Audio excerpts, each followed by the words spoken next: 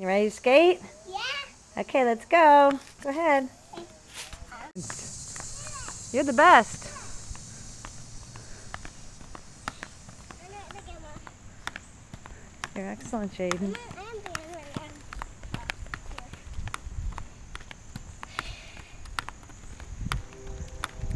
Put your eyes up when you're so you know where you're going.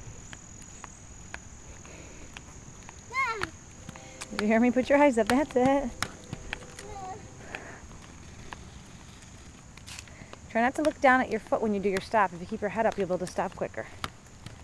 So look, wh look where you're going and think about your feet.